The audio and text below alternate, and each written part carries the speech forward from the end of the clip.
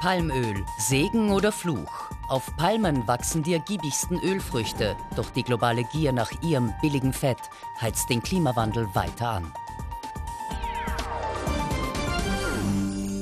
Herzlich willkommen beim Weltjournal. In der Fastenzeit dreht sich in unserem Breiten traditionell viel ums Essen und die spirituelle Qualität des Verzichts darauf. Aber jenseits davon und außerhalb unserer Breiten ist das Thema ein ganz anderes. Wie kommt man schneller und billiger zu immer mehr Nahrung für immer mehr Menschen? Mahlzeit bei einem Abend, an dem sich alles ums Essen dreht. Im Weltjournal Plus etwas später können Sie sehen, wie sich zwei Filmemacher mit Essen aus dem Müll die Bäuche vollschlagen. Jetzt aber geht es um billiges Fett. Fett im Essen, das ist nicht nur der Geschmacksverstärker schlechthin, sondern auch ein Zeichen für wachsenden Wohlstand. Was die Supersize-Nation USA vorgemacht hat, wird jetzt in Asien kopiert. Und die Quelle von billigem Öl sprudelt auch gerade dort. Palmöl bringt alle Qualitäten mit, die man zum Frittieren und für andere Formen der Verarbeitung braucht. Und es ist extrem ertragreich. Aber es hat eine Kehrseite. Gewaltige Monokulturen, für die tropische Wälder abgeholzt werden müssen. Kommen Sie mit an die Quelle des billigen Öls und zu seinen Folgen nach Malaysia. Ölpalmen, soweit das Auge reicht. Was aus der Luft wie herrlich grüne Oasen aussieht, ist der Tod des tropischen Regenwaldes. Die Anbaufläche von Ölpalmen hat sich in nur drei Jahrzehnten verdoppelt, auf mehr als 18 Millionen Hektar, meist auf Kosten des Regenwaldes. Mehr als 80 Prozent des Palmöls stammt aus Indonesien und Malaysia. In diesen Ländern steht Palmöl inzwischen synonym für fette Gewinne. Doch wofür wird das tropische Pflanzenfett eigentlich verwendet? Ein Gang durch den Supermarkt liefert ein erstaunliches Ergebnis. Palmöl wird nicht nur von der Lebensmittelindustrie eingesetzt, sondern findet sich als Zusatzstoff in unzähligen Erzeugnissen für den täglichen Gebrauch. Kaum ein Produkt in den Regalen, das ohne Palmöl auskommt. Von Brot über Kekse, von Kuchen bis Kosmetikartikel. Meist ohne es zu wissen, kaufen wir tagtäglich Produkte, die das tropische Pflanzenfett enthalten. Palmöl ist den wenigsten Menschen in der westlichen Welt ein Begriff. Ich bin Koch, aber ich habe noch von keinem gehört, der mit Palmöl kocht. Können Sie mir jemanden nennen? Man verwendet es zum Kochen, nicht wahr? Ich aber nicht. Wir kommen aus Frankreich. Wir verwenden Olivenöl, kein Palmöl. In einem von zehn Produkten aus dem Supermarkt ist Palmöl enthalten, wenn auch oft nur in Spuren. Vermutlich ist es in Palmolivseife enthalten. Aber damit ist mein Wissen über Palmöl schon erschöpft. Seit mehreren Jahren erleben wir einen regelrechten Palmölboom. Der weltweite Verbrauch liegt bei fast 60 Millionen Tonnen, Tendenz steigend. Bisher wurde Palmöl in Produkten dem Überbegriff pflanzliche Fette subsumiert. Seit Dezember vergangenen Jahres gilt in der EU aber eine neue Verordnung. Palmöl muss in Lebensmitteln explizit ausgewiesen sein. Ein Umstand, der Palmöl im Konkurrenzkampf mit Soja, Sonnenblumen oder Rapsöl einen großen Vorteil verschafft, ist die hohe Ertragsfähigkeit der Ölpalme. Pro Hektar Land können rund 1000 Liter Olivenöl gewonnen werden. Auf der gleichen Fläche schafft die tropische Palme rund 6000 Liter. Ölpalmen bringen aber nicht nur um ein Vielfaches mehr an Ertrag, sondern auch die Ölherstellung ist im Verhältnis billiger. Die Ölpalme stammt ursprünglich aus Westafrika. Niederländische Seefahrer brachten sie nach Südostasien. Seither dominiert Palmöl den lokalen Markt. Erst die enorme globale Nachfrage nach billigem Fett hat dann der Wirtschaft diesen unglaublichen Aufschwung beschert. Allein Malaysia exportiert jährlich 20 Millionen Tonnen. Die die malaysische Palmölindustrie ist einer der wichtigsten Zweige der Agrarwirtschaft des Landes. Der Gewinn pro Jahr beträgt etwa 60 Milliarden malaysische Ringgit. 60 Milliarden Ringgit, das sind mehr als 15 Milliarden Euro. Rund 500.000 Menschen sind in der Palmölindustrie beschäftigt.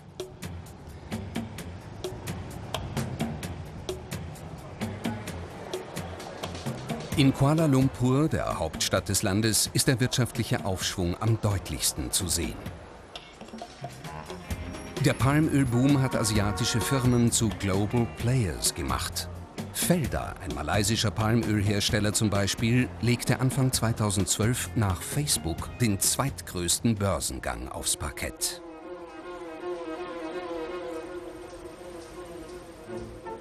...4,5 Millionen Hektar sind in Malaysia mit Ölpalmen bewachsen. Das ist mehr als die Fläche der Schweiz. Aber der Vergleich mit traditioneller Landwirtschaft zeigt, dass das nur ein verhältnismäßig kleiner Teil ist. In Spanien zum Beispiel sind 25 Millionen Hektar Agrarfläche. Das ist mehr als die Hälfte des gesamten Staatsgebietes. Ölpalmen können an die 120 Jahre alt werden.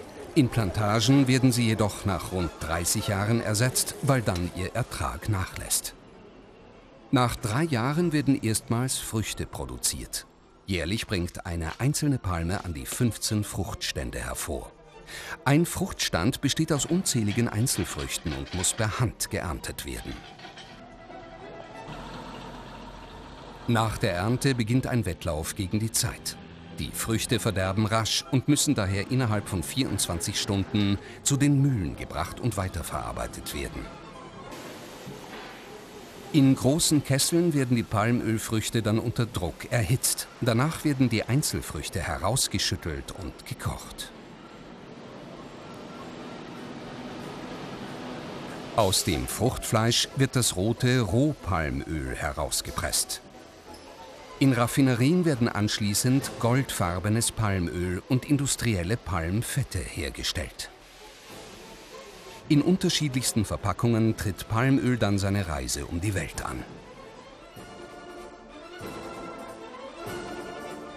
Alleine Malaysia versorgt weltweit mehr als 150 Länder mit dem flüssigen Gold.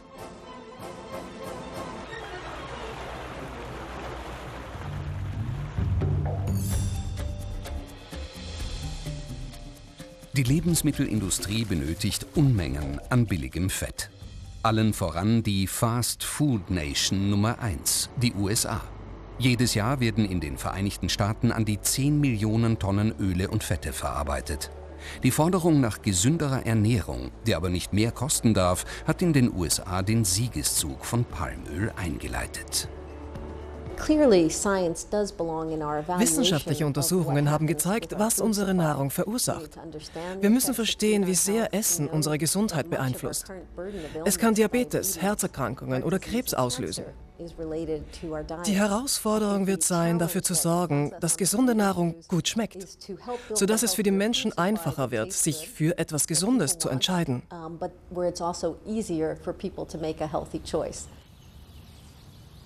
Tag für Tag hören wir die Warnungen. Unser Essen ist zu fett, enthält zu viel Cholesterin.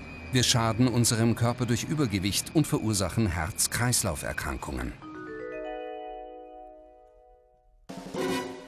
Nach Amerika und Europa kämpfen Ärzte vermehrt auch in Asien für mehr Gesundheitsbewusstsein bei der Ernährung.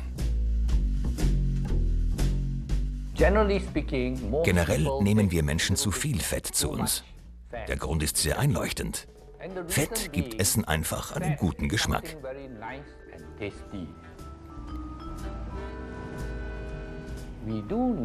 Wir brauchen ein gewisses Maß an Fett, um über den Verdauungstrakt Kalzium aufnehmen zu können. Und auch eine bestimmte Art von Vitaminen, sogenannte fettlösliche Vitamine, brauchen eben Fett, um vom Körper aufgenommen werden zu können.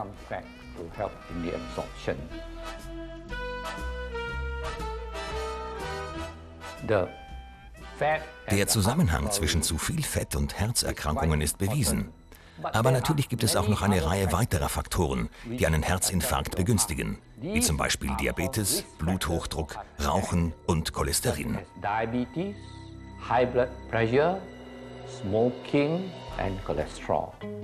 Zählt Palmöl nun auch zu den ungesunden Fetten? Nein, man kann sagen, Palmöl ist cholesterinfrei, so wie alle pflanzlichen Fette cholesterinfrei sind. Ein wesentlicher Vorteil, den Palmöl gegenüber anderen pflanzlichen Fetten hat, ist seine natürliche Festigkeit. Deshalb kann es ohne chemisches Härten bei der Lebensmittelherstellung verwendet werden und ersetzt so die gesundheitsschädlichen künstlichen Transfette, die beim Prozess des Härtens normalerweise entstehen und in unsere Nahrung gelangen. Lange Zeit war die Verwendung von Transfetten in der Lebensmittelproduktion üblich. Doch Mitte der 90er Jahre wurden die schlechten Auswirkungen auf unseren Körper bekannt.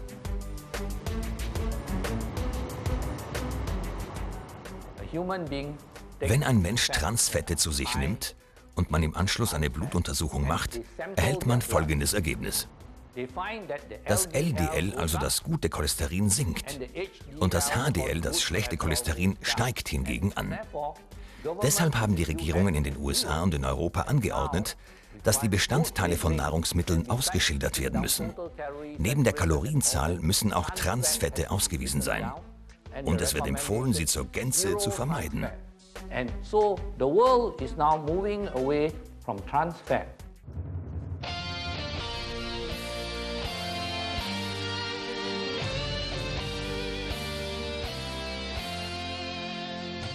Transfette sind auch für das massive Fettleibigkeitsproblem, vor allem in den USA, mitverantwortlich. Denn die Amerikaner lieben ihr Essen am meisten, wenn es frittiert ist. Ob Hamburger, Pizza oder ähnliches, Junkfood ist meist fetttriefend.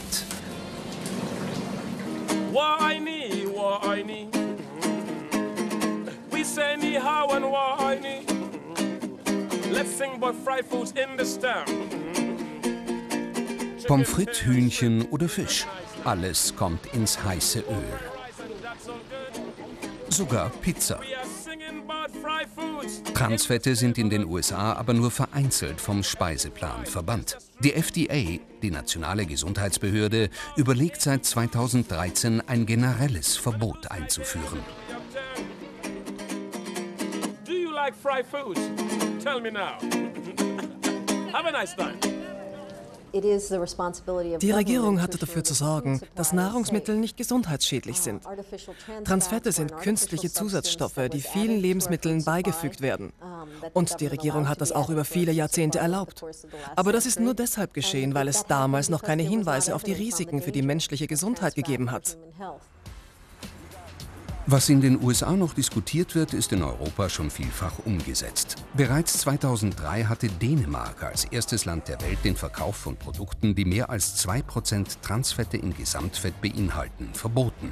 Weitere europäische Staaten sind dem Beispiel gefolgt, so auch Österreich 2009.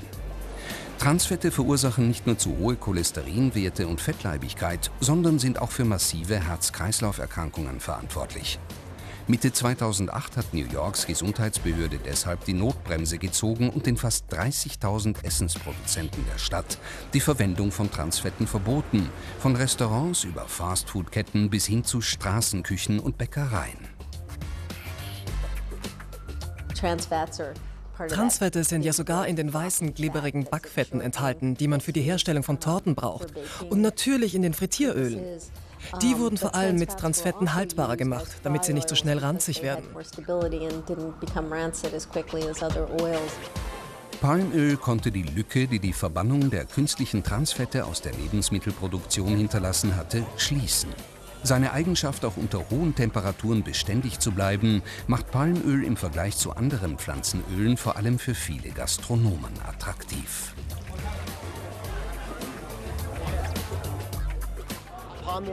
Palmöl ist großartig. Alles Frittierte wird sehr knusprig und bekommt einen guten Geschmack, vor allem im Vergleich mit anderen Ölen in der Pfanne. Es bekommt eine schöne Farbe und Palmöl gibt den Speisen keinen komischen Beigeschmack, wie das manchmal bei anderen Ölen der Fall ist. Doch den Preis für die Befriedigung der weltweiten Gier nach billigen Fetten bezahlt die Natur. Die stetig wachsende Weltbevölkerung verspricht den Palmöl produzierenden Ländern auch in Zukunft fette Profite. Alleine Indonesien will seine Plantagenflächen bis 2025 auf 20 Millionen Hektar ausdehnen. Umweltschutzorganisationen wie Greenpeace oder der World Wildlife Fund machen seit Jahren in Kampagnen auf die Zerstörung des tropischen Regenwaldes aufmerksam.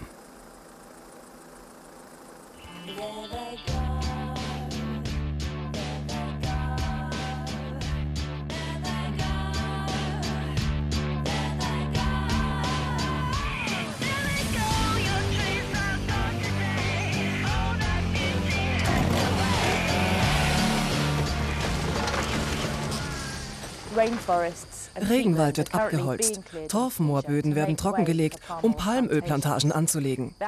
Allein das erhöht den Treibhausgasausstoß um mehr als 4 Prozent im Jahr. Die Zerstörung wirkt sich auch auf die Vielfalt der Pflanzen- und Tierwelt aus, etwa die Orangutans. Und auch der Lebensraum indigener Völker wird zerstört. Um mehr Bewusstsein für die Problematik zu schaffen, initiierte der WWF 2004 den Runden Tisch für nachhaltiges Palmöl. Seine Mitglieder sind Vertreter aus Anbau, Handel, Industrie und Banken auf der einen, Umweltschutz- und Menschenrechtsorganisationen auf der anderen Seite. Plantagen, die die Nachhaltigkeitskriterien des Runden Tisches erfüllen, bekommen ein Zertifikat, das RSPO-Siegel. Doch Besitzer einer zertifizierten Plantage betreiben an anderen Orten oft Raubbau, ungestraft. Kritiker nennen das Siegel einen Etikettenschwindel. Die Situation ist komplex. In diesem Teil der Erde existiert neben der Palmölindustrie auch eine große Holzindustrie. Und beide wollen neues Land erschließen. Wir kennen also die Probleme der Rodung schon von der Holzindustrie. Und jetzt sind die Palmölproduzenten dazugekommen. Alle werden in denselben Topf geworfen, das ist die eine Sache. Und die andere ist das unglaubliche Wachstum dieser Industrie. Das setzt die Kontrollbehörden und den Gebrauch der bestehenden Ressourcen enorm unter Druck. Korruption und ungeklärte Besitzverhältnisse von Grund und Boden schaffen zusätzlich Konflikte. Die Plantagenbetreiber fühlen sich nicht verantwortlich, auch nicht für die Zerstörung der Umwelt. Die massiven Rodungen seien ein Ergebnis der landwirtschaftlichen Praktiken, eingeführt vor Jahrhunderten von den einstigen Kolonialherren. Die führenden Industriebetriebe dieser Zeit, allen voran die britischen, haben hier in Malaysia erst mit der Schaffung riesiger Plantagen begonnen. Sie haben die Ölpalme eingeführt, weil sie erkannt haben, dass diese Pflanze in unseren Breiten besonders gut gedeiht und sie der Landwirtschaft reiche Erträge bringt. Uh, for our agriculture areas in the country.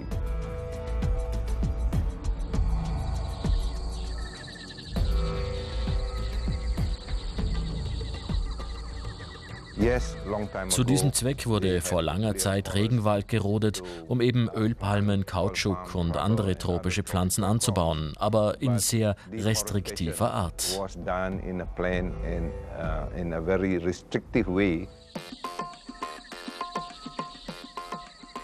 Doch wichtiger als der Blick in die eigene Vergangenheit ist, wie diese Länder ihre Zukunft gestalten wollen. Wie viel unberührte Natur sind sie bereit, dem Palmölboom zu opfern?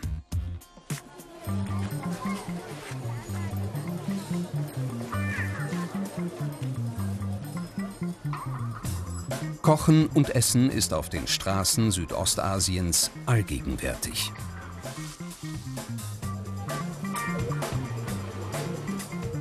Die malaysische Küche ist stark von der indischen und der chinesischen beeinflusst. Palmöl ist hier nicht wegzudenken.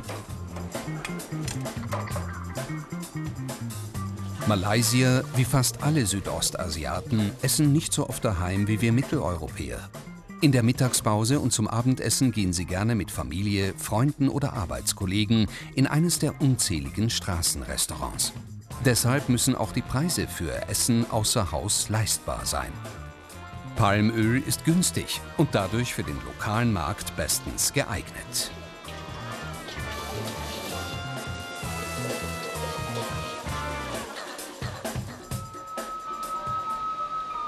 Noch haben Länder wie Malaysia und Indonesien dank der bestehenden Regenwälder eine vielfältige Flora und Fauna.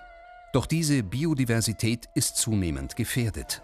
Das Bewusstsein in der Bevölkerung für Naturschutz beginnt nur langsam zu erwachen.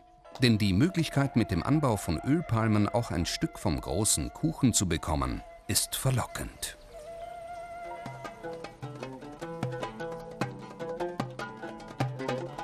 Ahmad Sidek hat ein Stück Land von seinem Vater geerbt und der von seinem. Über Generationen haben die Sideks von der landwirtschaftlichen Nutzung ihres Bodens gelebt. Seit einiger Zeit setzt auch Ahmad auf das Palmöl-Business. Früher hat es hier keine Ölpalmen gegeben. Wir haben Kakao oder Kokos angebaut. Und dann haben wir bemerkt, dass die Regierung die Industrie rund um den Anbau und die Erzeugung von Palmöl vorantreibt. Da habe ich meine Chance gesehen. In Malaysia machen Kleinbauern wie Ahmad Sidek rund ein Drittel der Palmölproduzenten aus. Aber meist ist ihr Land seit Generationen landwirtschaftlich genutzt. Regenwald wird durch sie kaum zerstört. Fette Gewinne wie die Plantagenbesitzer machen die Kleinbauern nicht, aber es reicht zum Leben und ein klein bisschen mehr.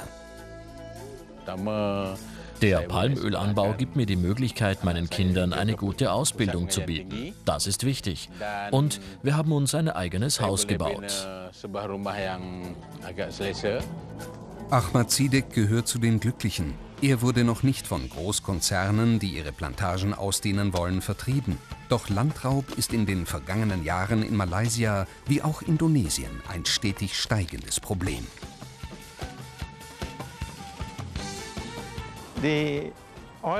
Das Wachstum der Palmölindustrie hat im südostasiatischen Raum in den vergangenen zwei Jahrzehnten ein immenses Ausmaß erreicht. Und damit sind natürlich große Probleme verbunden, auf Seiten der Umwelt wie auch im sozialen Bereich. Die Entstehung des runden Tisches für nachhaltiges Palmöl ist daher auch als Reaktion auf diese Umstände zu sehen.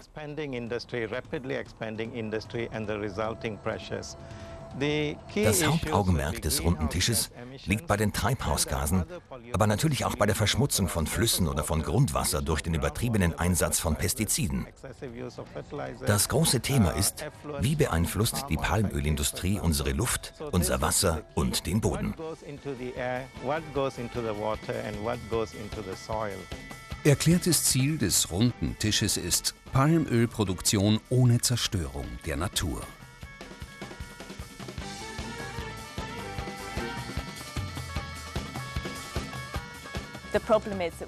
Das Problem ist, dass wir Firmen haben, die auf der einen Seite nachhaltiges Palmöl verkaufen, auf der anderen aber Regenwald- und Torfmoorböden zerstören.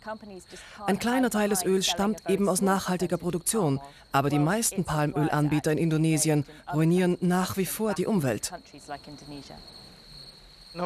Natürlich, so wie bei allen schnell wachsenden und profitablen Wirtschaftszweigen, gibt es immer auch schwarze Schafe unter den Unternehmen. Eine Kombination aus den teils schwierigen Umständen und den schwarzen Schafen hat dann zum schlechten Image der Palmölindustrie beigetragen. Aber man darf sich kein falsches Urteil bilden, denn Palmöl hat die Wirtschaft von armen Ländern sehr positiv beeinflusst.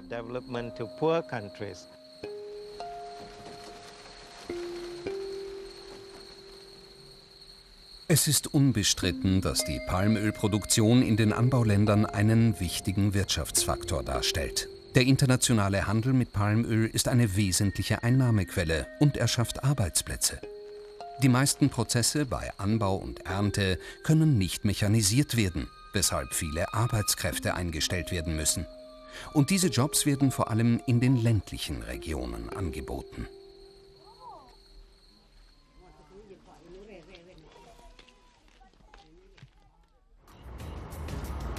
Seit ein paar Jahren verlangt ein neuer Industriezweig nach Palmöl. Die Begrenztheit weltweiter Erdölvorkommen und der Ruf nach Reduktion des CO2-Ausstoßes hat einen neuen Markt für Biokraftstoffe geschaffen. Palmöl wird als Erdölersatz verwendet. Wir sehen einen vermehrten Einsatz von Palmöl auch als Brennstoff zur Energieerzeugung. Palmöl lässt sich in Fettalkohol und Fettsäureester wie auch noch in andere Derivate zerlegen und deshalb kann es Erdöl ersetzen.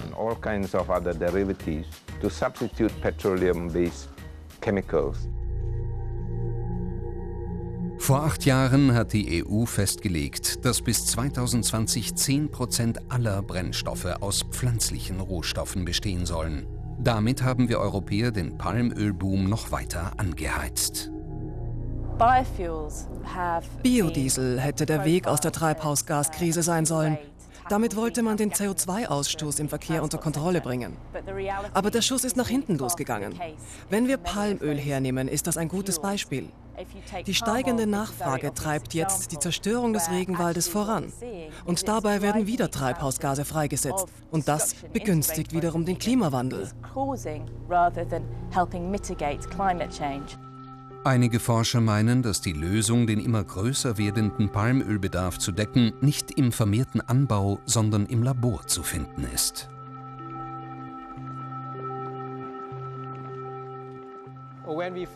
Als wir begonnen haben, Ölpalmen anzupflanzen, lag der Ertrag bei ca. 14 Tonnen pro Hektar im Jahr. Im Labor haben wir Palmen geschaffen, die in der Lage sind, 40 Tonnen zu produzieren.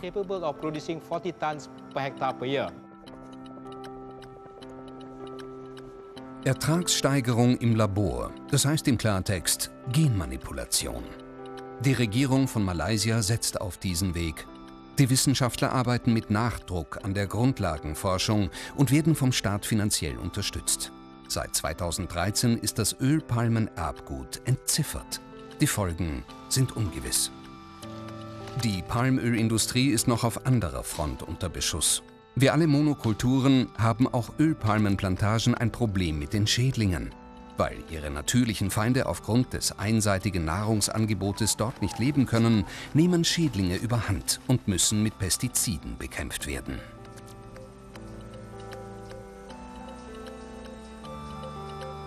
Der organische Abfall aus den Plantagen wird derzeit meistens verbrannt. Auch das trägt zur Klimaerwärmung bei. Dabei lassen sich die Abfälle durchaus recyceln. Das Wichtigste ist, den Abfall der Palmölmühlen zu kompostieren. Dann können wir verhindern, dass beim Verbrennen Methangas austritt. Methan ist eines der Treibhausgase und es ist 21 Mal schädlicher als CO2.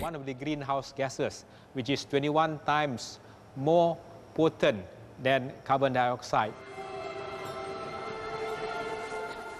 Umfassende Aufklärung über die Auswirkungen des weltweiten Palmölbooms ist die einzige Möglichkeit, der Problematik zu begegnen, sagen Umweltschutzorganisationen wie Greenpeace und der WWF. Ihrer Hartnäckigkeit ist es vorrangig zu verdanken, dass bei den industriellen Abnehmern von Palmöl weltweit ein Umdenken eingesetzt hat hin zu Schutz von Natur und bedrohten Tierarten. Mit gezielten Kampagnen konnten internationale Großkonzerne wie Procter Gamble oder Nestlé dazu gebracht werden, ihre Hauspolitik zu ändern und schmutziges Palmöl sukzessive aus ihren Produkten zu verbannen. Fast täglich sehen wir im Fernsehen die Auswirkungen des Klimawandels und der Trend geht überall auf der Welt hin zu Verantwortung übernehmen. Es liegt an uns Konsumenten, die Zukunft mitzubestimmen. Denn mit unserem Kaufverhalten beeinflussen wir die gesamte Herstellungskette, vom Anbau bis zum fertigen Produkt.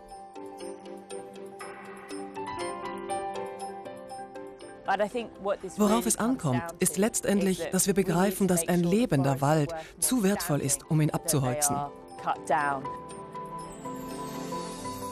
Das RSPO-Siegel, das nachhaltig produziertes Palmöl zertifiziert, und auch die EU-Verordnung, die Transparenz bei der Verwendung von Palmöl in Produkten vorschreibt, sind Schritte in die richtige Richtung. Doch letztendlich müssen wir uns bewusst machen, dass Nachhaltigkeit ihre Grenzen hat. Denn auch nachwachsende Ressourcen wie Palmöl können kein grenzenloses Angebot zur Verfügung stellen.